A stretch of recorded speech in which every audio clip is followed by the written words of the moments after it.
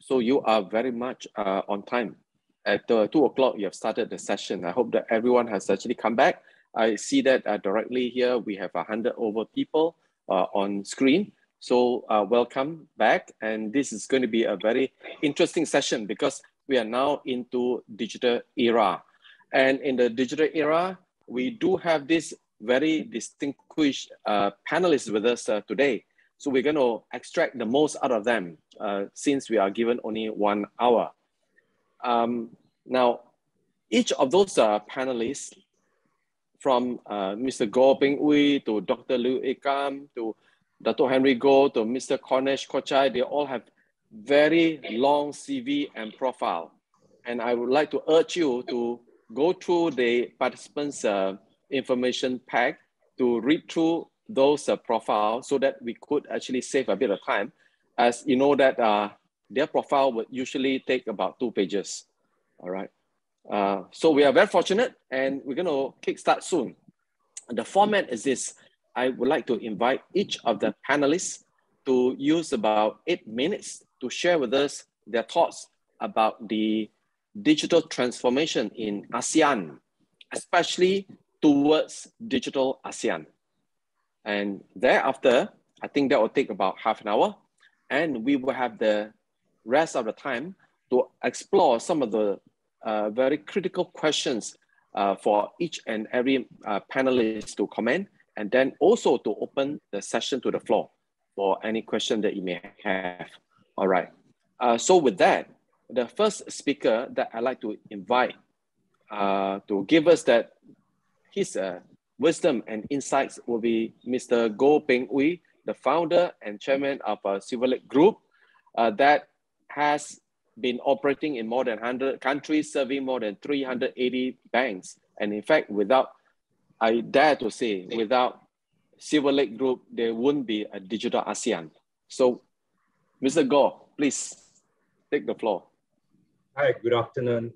Uh, before I share some charts, well, we are now talking about uh, digital ASEAN, ASEAN and uh, the scaling up to that environment. And I'm I'm going to share some charts. What are the environment like and what kind of responses that we need uh, to survive or scale up in that environment. Uh, let me start the sharing. Can you see the uh, sharing? Yes. Okay, let me yeah. make it full screen. Yes. Uh, the first phenomenon is that uh, the risk opportunity symmetry is actually widening up. Now that, that uh, uh, you can ignore the word symmetry if you uh, find that it's too technical, but uh, there is a phenomenon in uh, banking, which is the word called interest rate. Now, why interest rates survive for thousands of years must be because of some natural phenomenon, and that natural phenomenon is actually symmetry. But uh, interest rate is actually against risk opportunity, and that is widening up. So uh, it's going to lead to changes in economic theories, monetary theories, uh, country priorities, and the phenomenon of the, group, uh, the globalization, and uh, if even trigger the shadow of dot-com crash again. Now, money, as defined, for the last few thousand years as a number with narrow interest rate is no more true. And so you see a lot of interesting phenomena of uh, burning money and uh, uh, throwing three billions and tens of billions in things that you thought why and and thought make no sense, but sometimes it makes sense. And why is that making sense is actually because of risk opportunity equation.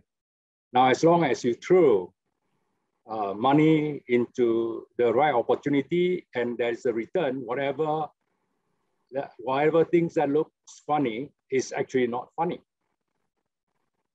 Now, the this environment leads to something called new capitalization, uh, capitalism, and new socialism.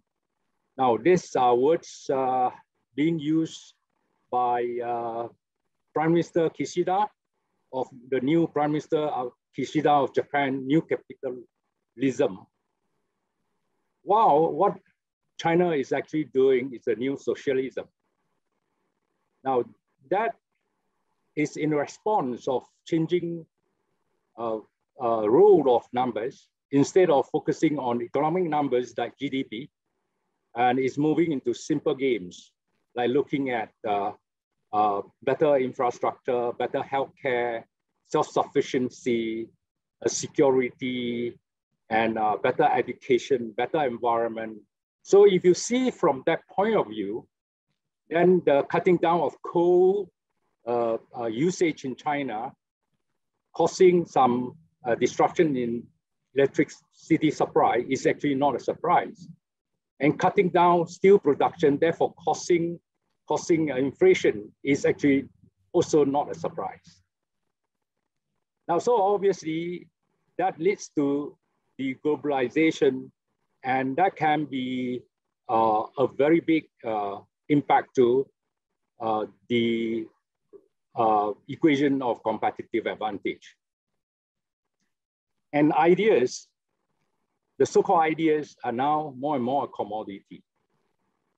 And uh, obviously we are observing that the rising threat of invisible hand and uh, leading like COVID-19 and uh, maybe next is climate change, which, which will lead to many other problems and diseases that we most likely are going to face soon. Now, so if you look at ASEAN, let's look at ASEAN. Now, when you look at ASEAN, it's always about uh, sharing uh, uh, uh, the so-called the profile versus the, I'm sorry, yeah, this, the, the profile is basically the sharing a portion and the individual portion. Now, when you look at it, the, the part that is shared by every country is technology, banking and finance. Now, of course, uh, there are certain behaviors like taxis, and uh, and of course uh, shared partnerships, uh, shared purposes, and so on and so forth. Now there is a horizontal parameters that cut across the region. In fact, cut across the whole Asia Pacific, and of course cut across the world. And from there, you can see the important role of digitize, digitization and digitalization all technologies. Now, we, if we move and to see the responses, well, there are various areas of response. And uh, what we see, people burning burning money like uh, uh, Uber and, uh, and uh, shopping and Alibaba, now all started by burning billions of US dollar. And the game is actually relatively simple, focusing on behavior and uh, using money to enhance capabilities and therefore leads to near monopoly. Now that would be the traditional, that would be the current, maybe the last 20 years of, uh, of investments from uh, investment communities. The biggest opportunity that uh, have not been tapped is actually the horizontal portion where involving those areas of invisible hands like COVID responses, definitely cues. And at the same time, uh, actually promoted many companies to the top of the world. And uh, trust as a business, regulation, rules and reg regulations, purposes, shared values and coverage. Now, of course, those can be broken into many details of responses. But uh, as a whole, these are groups of opportunities that uh, that uh, that we can address, and that is exactly what we have been playing in ASEAN. Uh, if you look at the Lake Group, uh, most people are confused. What actually is a Silver Group, group because it doesn't look like there is a specific business that we are in, except people heard of it, heard of us, uh, starting from banking and finance. But if you look at that, that is very much a shared value a block of businesses. And, uh, and uh, since, since the, the inception, we actually at a certain point grew to 130 companies. And, uh, and finally, we, the fact that it is a shared value system, that we narrow it down back to three, three groups of company, which is the supply side and the demand side and the fund side of the companies. So now this is how we respond in ASEAN, in Asia Pacific, and uh, widening it to Western Europe and Africa's. Now this, these are areas that we, we actually work on. But if you ask why, this chart actually explain why, where the opportunity that we were looking at. Now, so therefore we differ from everyone else like uh, Uber or, or, or, or, Alibaba and very much uh, an ecosystem provider or e ecosystem play. And, uh, and when you look at all the combinations of things, these are all the possibly possible work, possible ways of attacking the opportunities in ASEAN, West Asia Pacific, or across the world. Now you can see 6A is, is raise money, is one way of uh, uh, playing games. And I, I, and many young people are actually doing, doing that. But the most important thing is go back to the reason why. Why? Where are the opportunities? What are the, uh, uh, the factors that, uh, that, that can make those opportunities turn real? Now, uh, on the economic side, well, there are many things that is no more the same. So the same is no more the same. So, so words like capitalism, socialism is not the same anymore. And uh, best in the class is no more good enough. And therefore, supply side alone may not be good enough. And uh, well, the last is not to repeat history, but pause and think because repeating history could be just careless. And uh, pause and think and look before you leave is most likely the way that we can respond to this UV, UCVA world. Now, a uh, quick look at Silverlake, and if you look at it, there are different colors in how we respond to this environment. And basically, that is supply side, demand side, fund side, and compliance and regulations. Thank you very much. Well, uh, thank you, uh, Mr. Goh. You have been, you know, leaving a lot of puzzles in people's mind, requiring everyone to solve their own puzzle.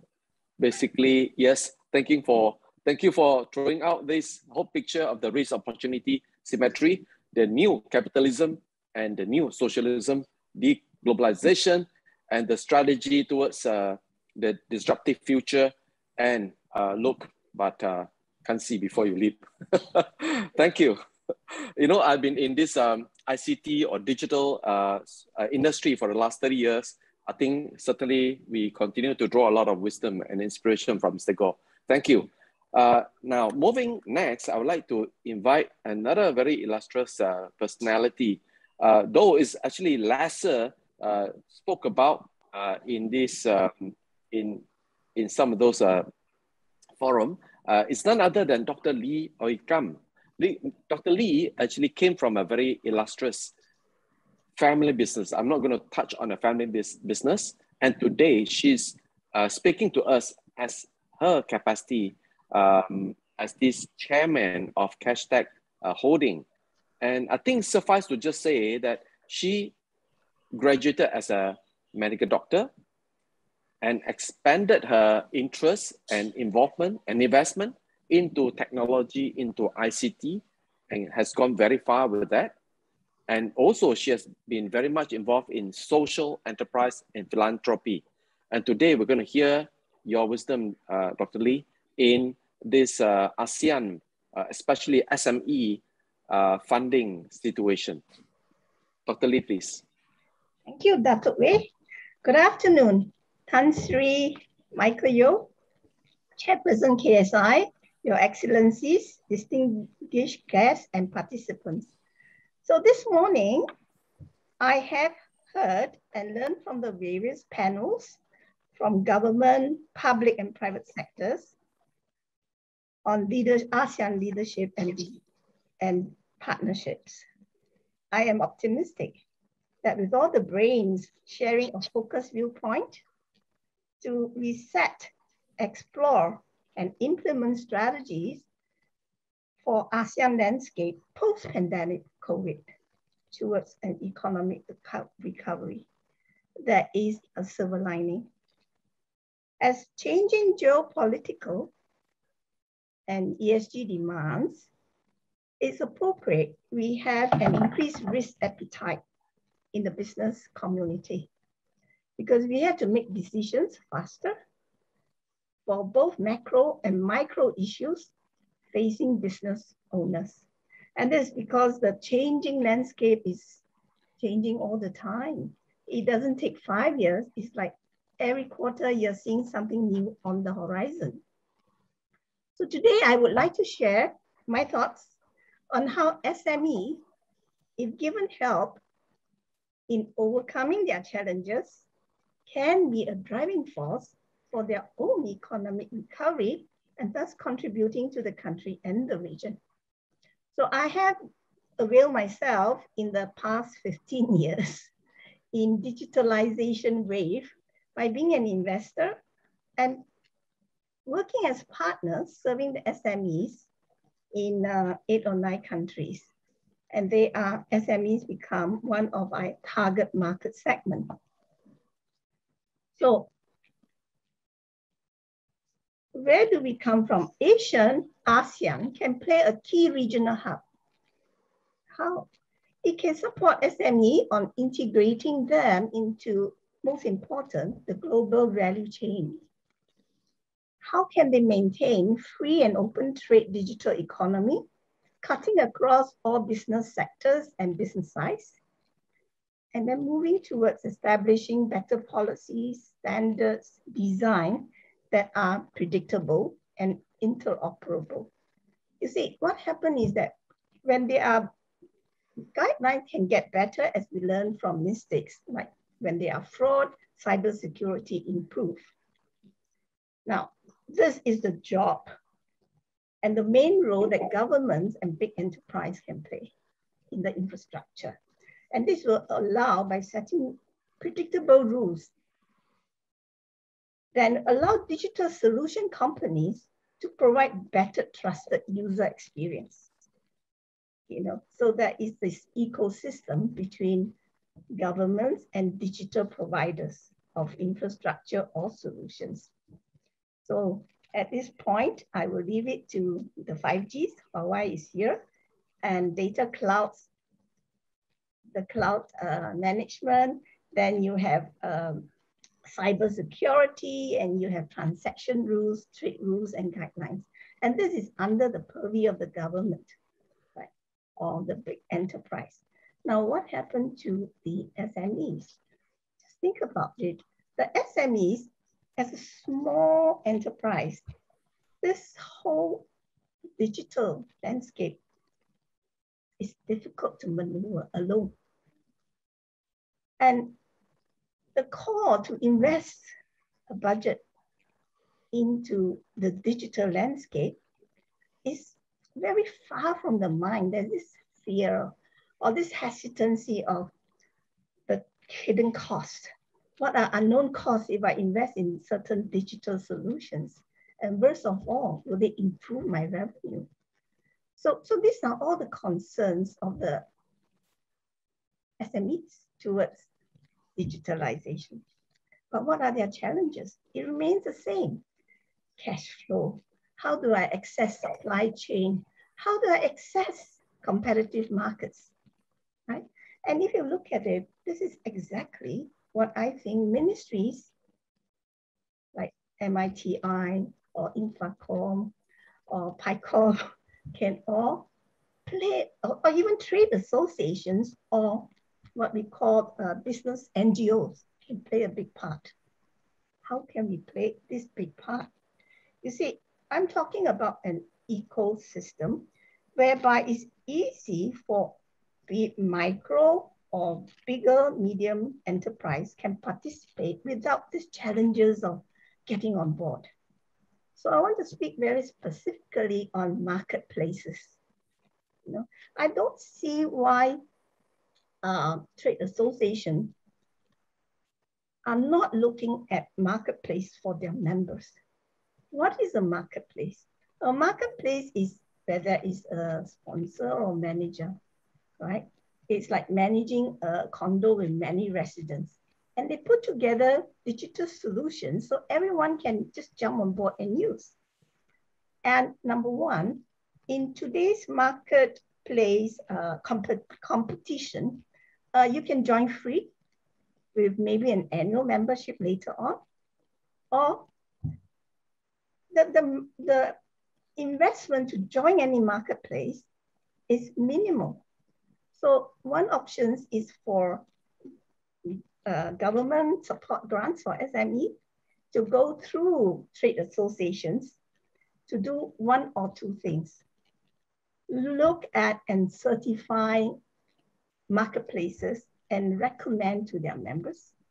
And marketplace should be what we call horizontally transacted, you know, because in a digital economy, you can't have, most association are what we call vertically priced, the auto industry, the manufacturers, but we are looking at what we call the general trade associations. They already have a community. It's just like at government level, we are talking about trade blocks. What about connected communities? And for connected communities, these are the benefits. Um, most connected communities have improved service staff who are experienced to manage the marketplace, understand the technology they put on board for their members, and can provide education and continual service to use their marketplace as their revenue point. And usually for an SME, the investment is pretty small, maybe a setup fee of $1,000, $500, you know, and some are even free, right? And uh, so the less risk of investment going in, the, the, the, the move for commun for SME community to, to be a strong block is what each country can look towards. And it doesn't matter to have one monopoly. How about multiple communities? Previously, we talked about six degrees of separation before you get to a customer. Now we're talking about one degree. All marketplaces have strong search engine on their own directories.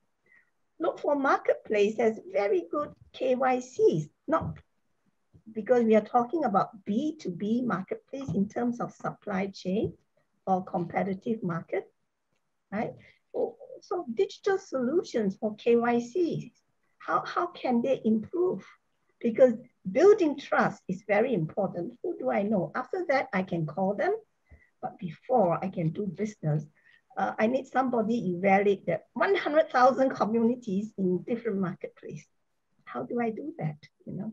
The second one, when we talk about marketplace, what do they look for? What we look for, number one, is um, what sort of specialized service do they provide? And there will be, for example, a logistic community. You know, all the carriers come in, but on one main carrier for logistic from land, CNA comes in and provide a very transparent, smooth moving of products that include documentation, and this refer again to my earlier comment, you know, trade rules must be transparent to digital solution provider. If not, how can they put in the algorithms to understand what will be accepted as governance in the trade environment?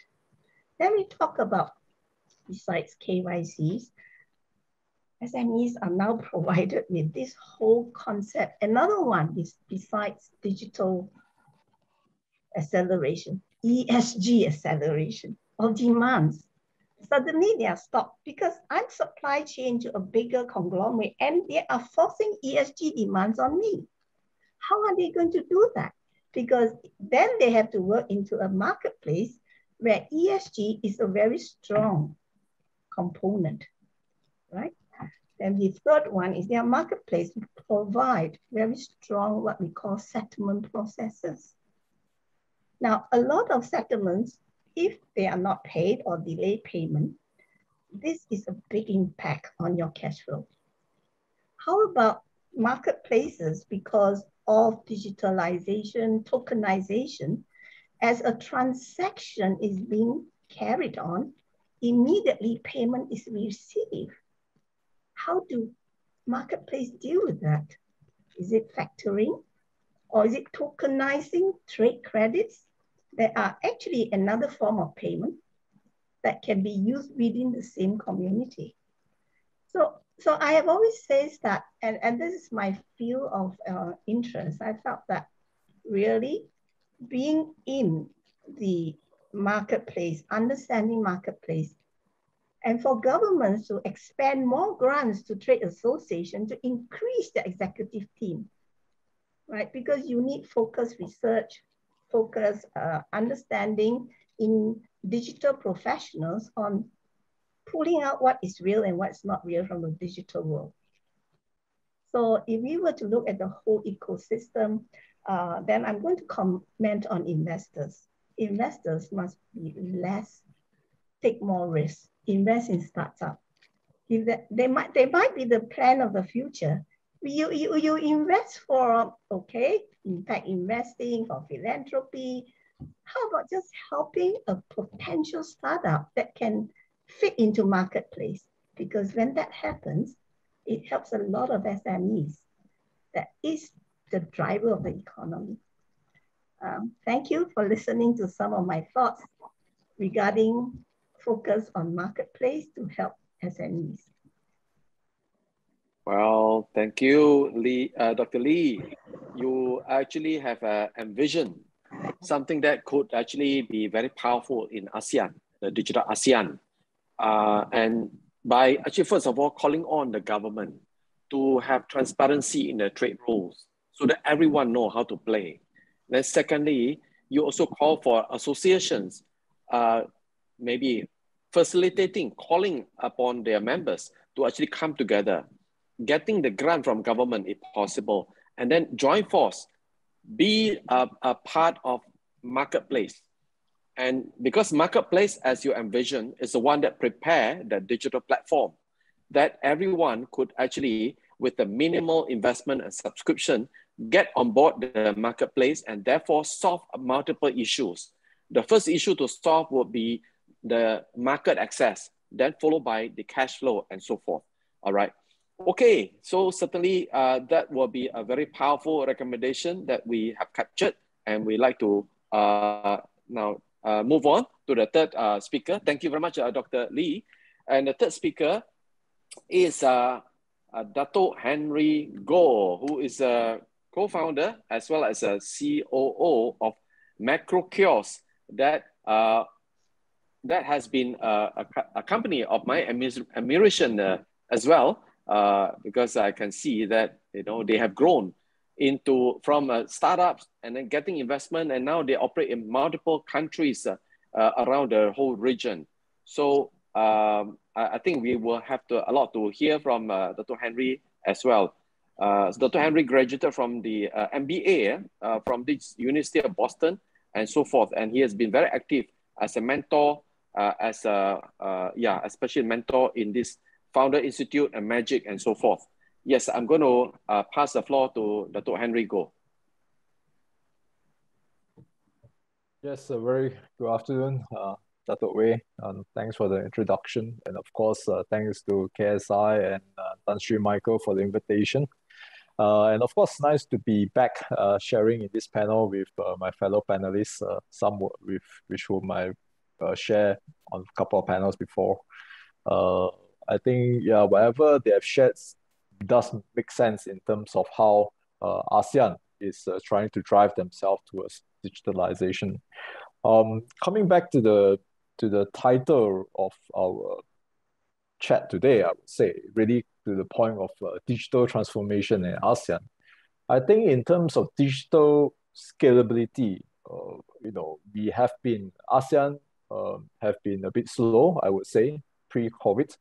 But all of a sudden we get a major boost uh, from the pandemic um, for the past two years now almost, uh, in the sense that uh, the digitalization uh, requirement uh, the, or digitalization demands uh, have outgrown uh, in terms of what we expect it to be. You know, in terms of there are so many people uh, getting access to the internet now, um, and the multiple activities uh, have been, you know, uh, uh, running around in the internet sphere, such as, of course, shopping and, and things like that. Um, and even like there are reports coming up now from companies like Google and Temasek and itself in the sense that the digital economy uh, would be something like close to about 10% of the whole ASEAN GDP uh, by the year 2025. I think that's just a report now, which I think could be even achieving that numbers in a, in a much earlier time timeline itself. So if you ask me in terms of scalability or the, how to scale up, I believe uh, the scale is already there. Uh, you, can see there are already uh, seven to eight uh, ASEAN citizens or members of ASEAN already uh, have access to the internet, uh, have access to some form of digital device, uh, and that itself is a major, major big market. However, of course, the key then is not just about getting the citizen digitalized, but then how about uh, government being digitalized or even uh, companies are being digitalized. I think that's that's the part that is still uh, very much uh, lacking, I would say, in that sense. Um, however, you know, uh, because the markets because there's a big citizen, I mean, there's a big population of people you having access to the internet and having access to digitalized equipment. Uh, there are now a lot of, companies, of course, as you can see, startups or even now mega startups or what they call unicorns are already in the market, uh, trying to access to this to this um, uh, population or this uh, internet economy itself. However, that of course creates a very big uh, disparity in that sense. Then there are a lot of uh, I wouldn't say cannibalization, but rather that again then a lot of uh, older companies or even SMEs, for example, uh, is then in the losing round because uh, of these big companies like Alibaba, Lazada, all these companies coming in, which then creates a very big challenge to how commerce uh, have been done in most of these countries in ASEAN. So I think the, the key challenge now is then how can we uh, you know, not losing out the the digital market uh, to just a few players, but then to give uh, equal access or equal opportunity to all the SMEs and even companies uh, from the older industries to come on board and to then being part of this uh, digital uh, ecosystem uh, this is the really the big challenge. I mean, for the past two years, uh, there are a lot of people trying to digitalize the business and come trying to sell the business or sell their products on the internet. But that is just the, the, the just the tip of the iceberg of what's true uh, digitalization is, for example. So I really think is that um, like what uh, Dr. Lee talks about, I think really that there must be an equal uh, rule. So ASEAN itself or government by itself should be very transparent in terms of uh, the rules and regulation uh, so that it can create a very equal playing ground for everyone uh, in terms of how we can access to markets. Uh, like for example, logistics companies, uh, whether they are logistic companies, uh, uh, international logistic companies or even local logistic companies, they should be treated uh, equally uh, and given the same opportunity. And I think this is some area of policies that needs to be clear. Um, and also, of course, uh, how can then uh, government facilitate an environment uh, where uh, not just on hard infrastructure, because uh, ASEAN in itself, uh, we have been growing simply through hard labor and also hard infrastructure, such as, for example, maybe probably through properties and through having bigger factories or having better infrastructure in terms of roads. But I think the lacking part of infrastructure going forward is then the human infrastructure. Uh, so the disparity now we have we have countries in ASEAN that is uh, really good in human capital, uh, but we also have country, uh, countries in ASEAN that's very poor in human capital. And I think the, the key part is then how can we build up human capital between ASEAN or even between individual countries in ASEAN uh, to make sure that we are ready uh, for the uh, digital environment, especially post uh, COVID uh, uh, growth, for example. Because in, in, that, in that sense, uh, because of the disparity in human capital investments or human capital growth in different countries, uh, richer countries in itself are getting richer and the poorer countries are getting poorer because the poorer company, countries have to then uh, acquire technology or even uh, import know-how from uh, richer countries. And I think this is something that needs to look at. I think there's a, there needs to be a shift in the thoughts of the government to how to then emphasize uh, development of the economy through uh, human capital rather than through building uh, bigger factories or bigger roads or taller buildings, for example. I think this is an area uh, of mismatch and how we can grow the company, uh, grow, grow the country uh, to make sure that we can fully embrace digitalization and bring not just uh, the, the population being digitalized, but then the whole economy itself is uh, benefiting from uh, a digitalized um, environment.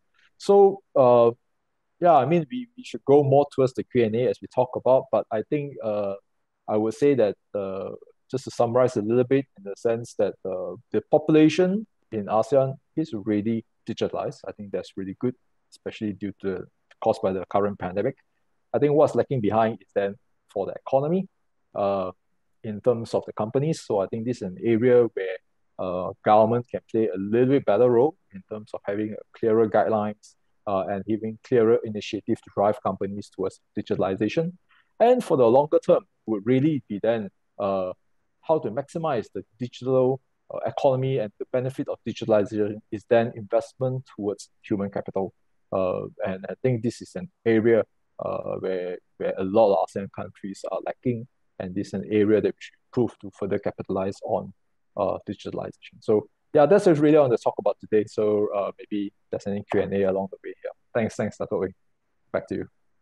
Well, thank you, Dr. Henry Goh. So uh, while you talk about, you know, this uh, digitalization in ASEAN has been accelerated because of the pandemic. So we are likely to have a higher GDP uh, contribution of digital economy ASEAN uh, comes to 2025 to more than 10%. And I think you have raised uh, the red flag the red flag on multiple fronts. First of all, it is the the challenges coming from some of the other giants such as uh, Alibaba, Lazada, and so on. So where would be the the kind of room for the local uh, commerce uh, players? Uh, secondly, uh, the rules and regulations are sometimes not so transparent. Like you quoted example of logistic industry, can we can we treat uh, other, you know, the foreign entities better than local? So that's also another so-called uh, red flag that you, you were raising. And uh, the third part that you highlighted that it is important to develop the human capital in this uh, towards the digitalization rather than building more factories and using more land. So while these are multiple points, uh, thank you. We are going to uh, take a pause here and, uh, and move on to the fourth uh, speaker. That is uh, Mr. Konesh Kochhal, who is the Director of Industry Eco Engagement of Huawei. Uh, well, very, very long uh, list of, uh, you know, the background and credential uh, of uh, Mr. Konesh Kochhal.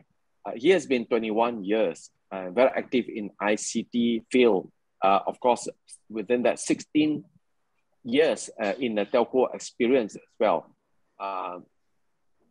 With the ecosystem, various technology, thought leadership, rules, regulation.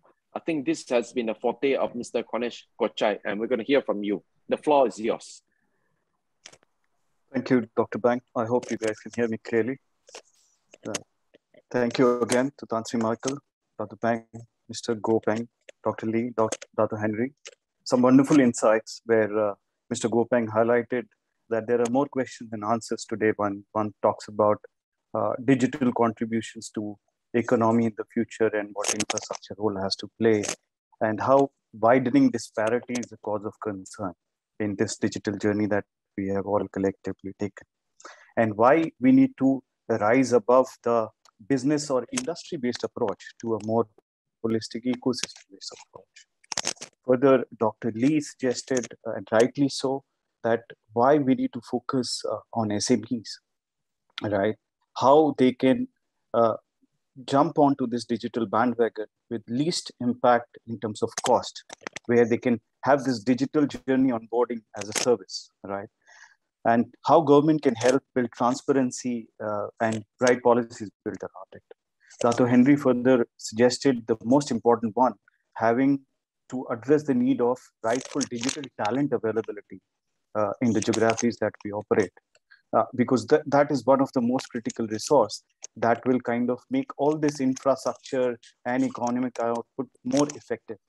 Without that, uh, the digital skill set, that is all uh, useless. Right. So today's discussion on digital transformation is very timely and apt, especially in the context of ASEAN, which is one of the fastest growing internet market, internet market in the world. Now, as we all agree that it is one of the most populous and diverse regions in the world. However, we are confident it's on track on becoming one of the top five digital economies by 2025. Now, all my fellow panelists have uh, uh, kind of highlighted the, uh, the challenge of growing population. What growing population does is that everybody needs a better job. They need uh, better safety measures, better healthcare system, better education system, that that pushes a large amount of population to settle in urban areas right? Where they try to access these services which government enterprises industries all of us as an ecosystem tend to extend these services to them right? And this becomes a scalable challenge in an urban area. Now people who are extending or staying outside the urban areas typically in rural areas or industrial sectors just outside the big cities they also need better connectivity, better transportation, better health services, as highlighted earlier. Now, we all have this challenge for last few decades, and digital came in as a solution which could address all these needs in a very uniform, uh, the quickest manner, and in a sustainable manner, right?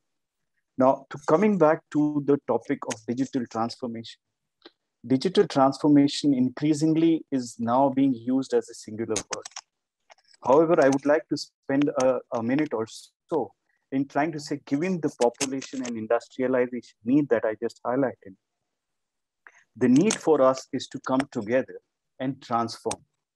Because without the way, without the change in the way we are interacting with each other, conducting our business, getting other people on board, this all needs to change. And what I'm saying is it cannot be addressed through an evolution. It has to really transform, right? So transformation need is the primary need that has to bring us all together. Now, using digital as a medium gives us a tool in the shape of digital transformation that we are all trying to address, trying to answer the questions that are uh, around, that are present today in terms of digital transformation journey.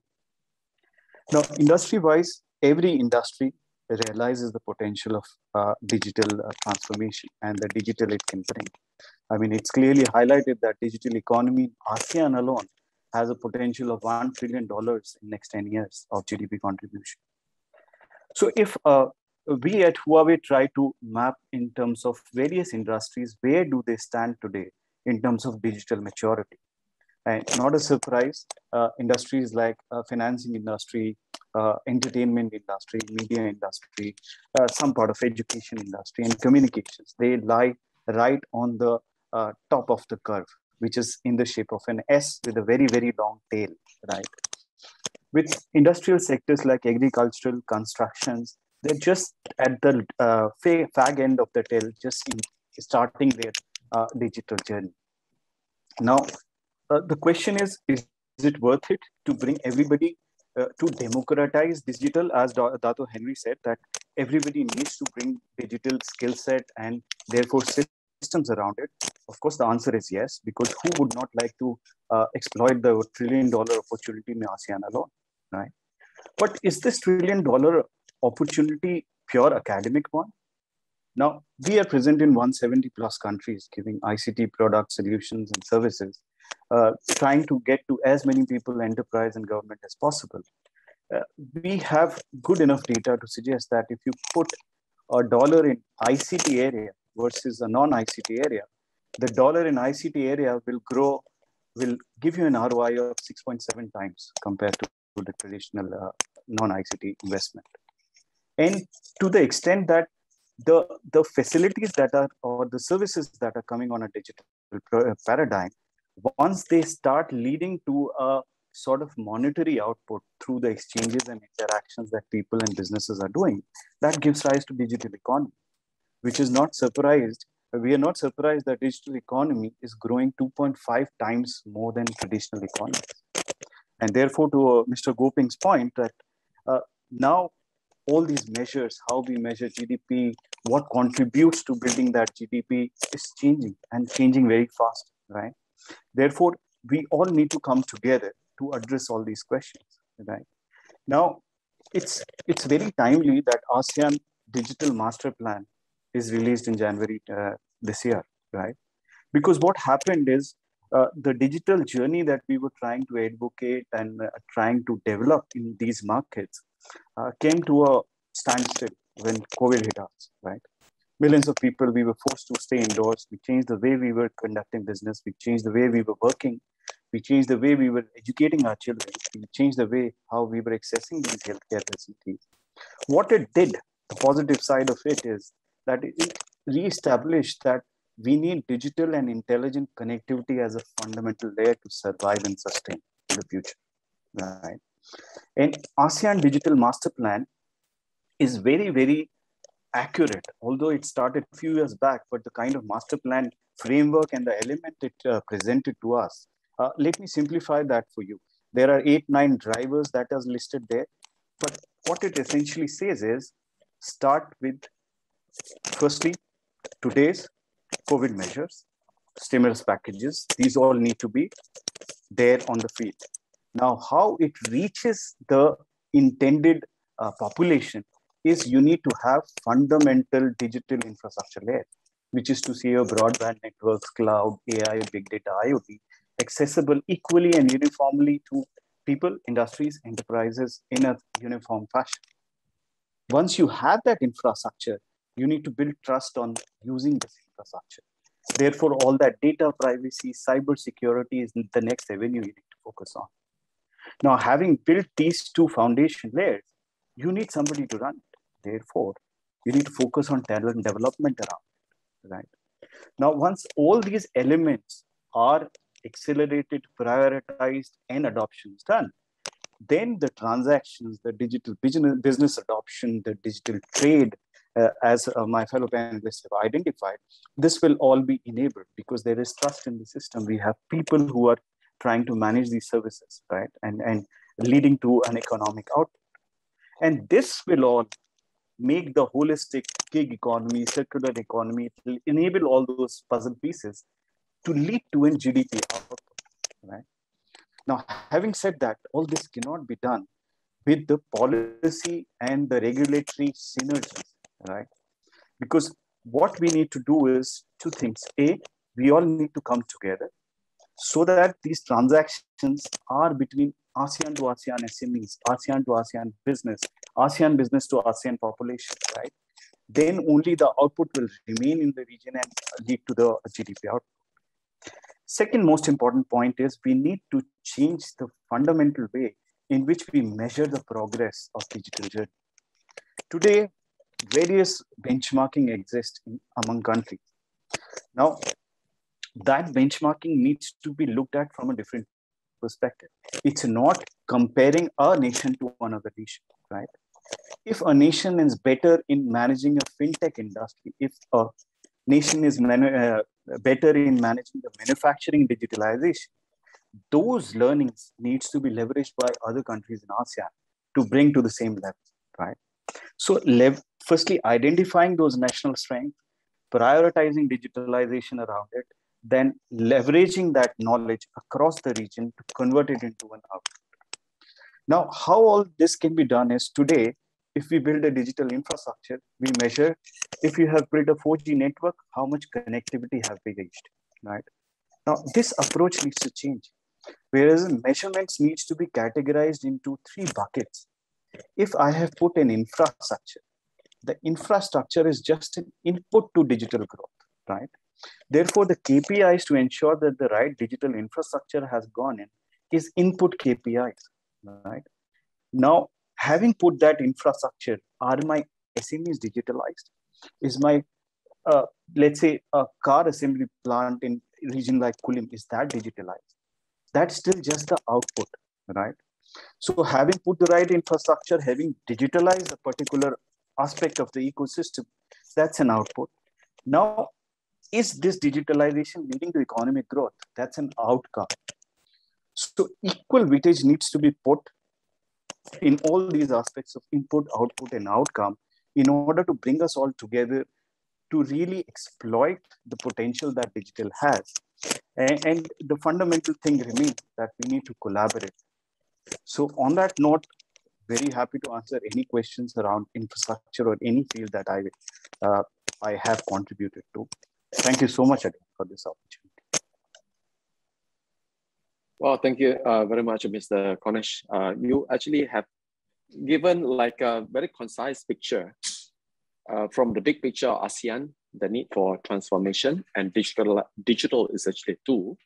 And you have led on to use the ASEAN digital master plan as the core uh, point for us to ponder upon, uh, of which it has eight, nine drivers ranging from COVID-19 measures to stimulus package, how to make it accessible uniformly uh, using the digital infrastructure and platform to the, the people who need it, and then have the digital talent to manage and operate so that we get the digital economy output, output as well as outcome. And then there's also a need to have the policy and regulatory synergy in ASEAN. All right. So while those are very much packed with the solid points there, and we're going to have a very well, quick question uh, session. I think we have a limited time. I wish that we have two hours, but looks like I think we have to kind of quickly pose a few questions here because there are at least four big uh, questions. But could I just uh, invite the speaker to use one minute to respond to this? Uh, first one is this the rise of ASEAN digital giants such as Grab, uh, because you know Dr. Henry talked about you know Lazada and all this, but you know Grab uh, has gone to list to merge with SPAC, and then Bukalapak has listed in Indonesia, and soon GoTo, uh, the merger of this uh, these two companies are also going ahead with the IPO plan. What is the implication to the ASEAN businesses and also ASEAN digitalization? Is this better? Is this uh, otherwise? Mr. Goh, please. Okay, uh, well, uh, if you refer to my second chart, um, this responds to so-called behaviors and capabilities. And uh, well, they, they are all uh, horizontal behaviors, they are vertical behaviors. Now, when it is about uh, uh, things like Grabs or Gojek or, or Tokopedia, now these are all behaviorals and capabilities and usually driven by driven by uh, huge investment of uh, uh, dollar and cents. Uh, you, that, that should, it should be a good thing because when it comes to behaviors and capabilities, it is actually relatively easy to respond. Uh, and that you see uh, uh, Tony is coming out with his Asia ride. And in the long run, most likely it will trigger a lot of other responses, whether big and small, so I see overall it is actually a good phenomenon. Right. How about a quick response from Dr. Lee, please? Yeah. Okay. I, I think the phenomenon of um, Grab, I would say, is a case of early bird catch the worm. But the impact of uh, this type of delivery service door to door, we already see that during pandemic. It has provided a lot of uh, transient maybe livelihood to the riders, to delivery men. It has kept F&B alive from take-home deliveries. So rather than, I would focus on the impact such um, digital uh, availability can impact this economy. All right. Uh, thank you. I, would like to kind of pose a second question quickly to the other two panelists. The ASEAN digital talent and the digital leadership, how to close the competency gap so that we can effectively perform the digital transformation in ASEAN. Uh, to Dr. Henry Goh as well as uh, Mr. Konesh. Yeah, thanks. Uh, I, I think the, the key point here is that yeah, there's a big discrepancy if you talk about ASEAN as a whole. I mean, you have probably some countries uh, that have invested a lot in terms of uh, digital leadership and even digital human capital, uh, whereas there are a lot of countries that are not as well. I think the, the, the key point, if we could, we could look at country by country per se, uh, the situation is, is very much different. Uh, however, I think that uh, the, the key point is that it could be as simple as even changing syllabus in schools. I think that there's really something that uh, many countries are not doing, maybe due to political reasons or, or, or what's not. Um, I think this is an area where, uh, yeah, governments should focus on education uh, and try to change the education that suits uh, the digital uh, world, uh, not just in, in gaining opportunity, it can be even even as simple as probably not getting fraud on the digital world. I think these are things that, that the government needs to do. Yeah. Right. Uh, thank you, Mr. Konesh. Uh, your response? Yeah, yeah, and, and uh, rightly so. So uh, what I would like to add further is that uh, almost 90% of the enterprises that we talk to identify resonate with this talent or skill gap in, in these countries, right? But, but I think specifically it needs to work around uh, both the segments of future workforce, which needs to start at engaging at the student level, revising the curriculum and uh, helping the school industry to introduce these new digital topics, which can uh, really prepare this workforce for the future. At the same time, the very short term priority is to uh, reskill or upskill the people who are currently uh, functioning in the non ICT space, right? Therefore, we at Huawei are uh, in, in uh, collaboration with governments, we have programs like Seed for Future and ICT Talent Development Labs. Uh, in, in, Malaysia, for example, when the lockdown happened, we could st- still train uh, thousands of people when we deployed the cloud solution in uh, uh, Malaysia with TM. So, I mean, the, the opportunity is there, the potential exists in terms of even teaching these through digital solutions. And this is one priority which needs to be addressed more than infrastructure because fundamentally we have some level of infrastructure already there, but talent is something which will take it to the next level. So, absolutely agree with the Thank you. Right. Uh, thank you. Short term and the long term solution in the human capital uh, development, uh, especially digital talent. Uh, now, I want to move on to the third question uh, because the multiple speakers talk about this the government policies and regulation towards a digital transformation.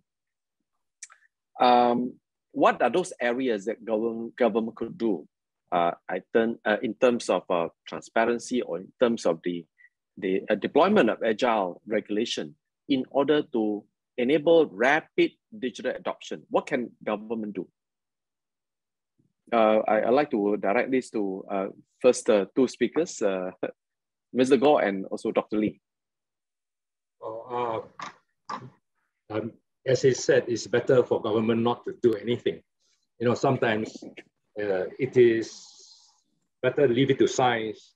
Then I believe general digitization itself has its own forces and sciences has its own forces, and therefore it is more important for government to encourage uh, R&D, encourage all the progress of sciences, progress of digitization, and let the forces to work on its own. It's very difficult to block natural forces. So when government try to do something, you are actually fighting God. And uh, generally, they won't end up uh, having much good results. And while God actually really uh, progresses sciences and digitization and digitalization, therefore, I be, believe the government should be actually promoting rather than setting rules. Right, thank you. It's a light touch approach, uh, if possible, no touch. okay, all right, Dr. Lee. Oh, I, I seriously believe a government private sector partnership is very, very positive. Uh, governments, you're talking of people in governments, uh, civil service mentality. They have to have strong code of what they can do and cannot do. But in the area of uh, challenging landscape, you need the private sector that has a deep knowledge and the experience to take it through. So this partnership is very important. Government to smooth the way or promote, like uh, Tan Sri says, and the private sector to be able to take the risk and move ahead. Mm. So you're suggesting uh, private sector take the risk, government get the results. the risk the government, the government have to smooth the way in one way or another. Smoothen the way, right? So uh, yeah, that's why sometimes government uh, may need the input on how they can uh, smoothen the way. All right.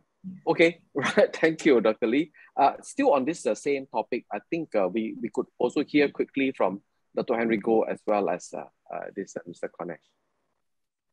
Yeah, I think uh, what uh, Mr. Goh was mentioning is true. It's best that government uh, don't do anything.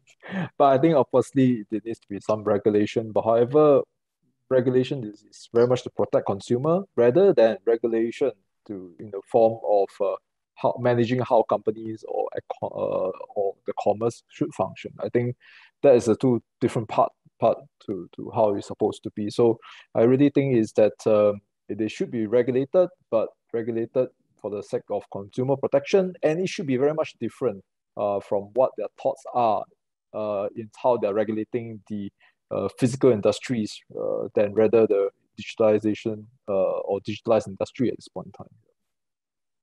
Well, very interesting. It's more towards like protecting the consumers rather than regulating the, the industry players. All right. Uh, and how about Mr. Konesh? What's your thought about?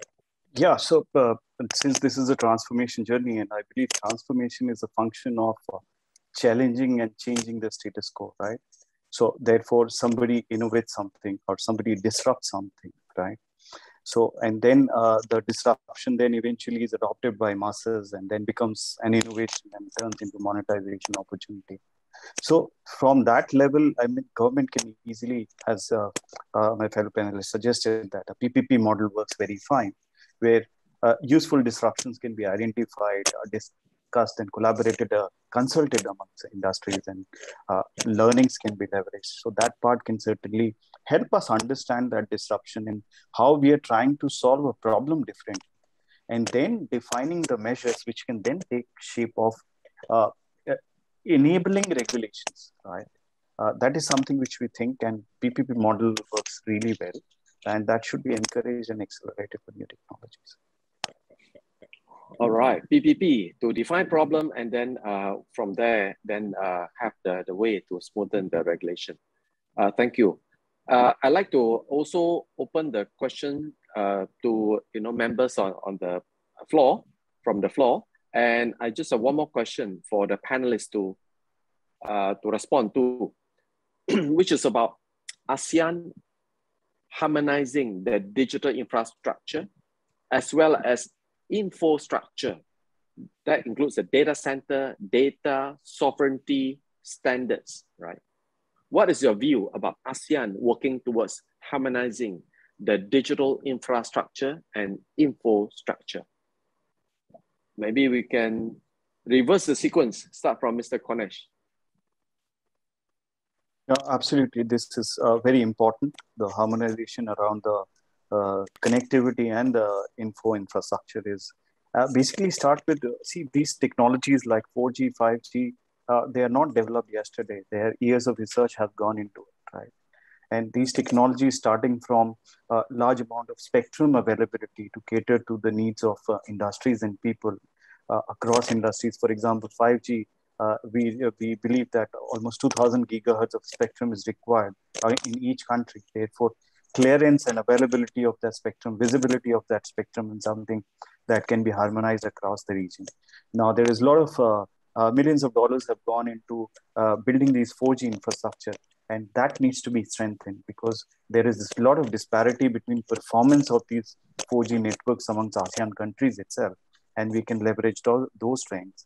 Uh, moving on, there is a lot of uh, uh, priorities that can be built up in particularly in data centers, in turning those technical solutions green and sustainable compliant because a lot of energy goes uh, is consumed and that can be made more efficient. So that is one area where harmonization can come in in terms of uh, strengthening that uh, and sustaining that final uh, the info network enabling network. Then things small things like uh, uh, building these networks faster is basically simplifying the right of pay pay policies and enabling competitiveness so that more and more investment is attracted in uh, building the uh, harmonization of this foundation. All right. Yep. Uh, yeah. So we, we're going to wrap up actually uh, because, uh, you know, that uh, organizer has just informed me that our time is actually up. So I would like the, the rest of the panelists to quickly use one minute to respond to this harmonizing infrastructure as well as infrastructure. Uh, yeah, probably? I can just uh, quickly do it. Uh, I think yes, it's true. I think uh, going forward, if there's a possibility to harmonize infrastructure, this is very good, and of course, uh, data. But I think it's still a long way to do. I mean, looking at the point is that at this point in time, uh, recognizing uh, each country's uh, COVID nineteen uh, vaccination certification is really a big problem, right? So I think uh, still a long way to go. But I think if that's can something that can happen, I think there will be uh, much easier for for the whole ASEAN country to progress. Uh, a lot of work to be done, but I think this uh, coordination that must, must be done for long term benefit of the region. Thanks. Thank you, uh, Dr. Lee, please. Oh, ASEAN, ASEAN partnership definitely is the way to go. We thought about inking trade trade blocks and trade uh, partnerships. Inking governance in a shared digital economy is very important. Wow, inking is the word. Thank you. and Mr. Goh. Um, yeah, there are two sides to harmonization, and one of it is efficiency, and the, the other side, Dr. Lee has just covered, that is shared values. Now, efficiency side, definitely digitization is going to move to the cloud, and, and we uh, have just announced a joint effort with IBM and uh, later there will be another, another announcement, joint effort with Microsoft. I think that is definitely the trend to move uh, forward. And we, and we have seen that in the last 15 years, is moving forward. Right, moving forward, right. Thank, thank you, Mr. Goh. And uh, to conclude the session, I would like each and every uh, panelist here to give one sentence to share your own inner voice about the digital ASEAN your inner voice. What does your inner voice uh, tells you? We could start with. Uh, yeah. Okay. Yeah. I'll just quickly start, and I've been talking about mathematics, the invisible hand, the trends, and I think it is driven by nature. So that that is my inner voice. All right, the nature. Dr. Lee? Uh, digitalization needs to provide an uplift to human lives. If it doesn't, then it's a wasted effort at the end. To uplift human life. Thank you. Uh, Dr. Henry? Yeah, I think the point is uh, digitalization gives an equal playing ground for all of us. Uh, as if we want to spearhead ourselves as, as, as a region to to be more competitive and to be even a developed region as a whole, digital is the opportunity for us to achieve that. Thanks. Equal playing ground and opportunity. Right, Mr. Konesh. Yeah, I would say collaboration for digitalization is key because, uh, as the African proverb says, to uh, run fast, you need to run alone, but to need to run far, you need to run together. So we need to well, collaborate. So with that, let's run together. And I would like to ask everyone together with me to thank our distinguished panelists for your insightful sharing this afternoon. Thank you. Thank you.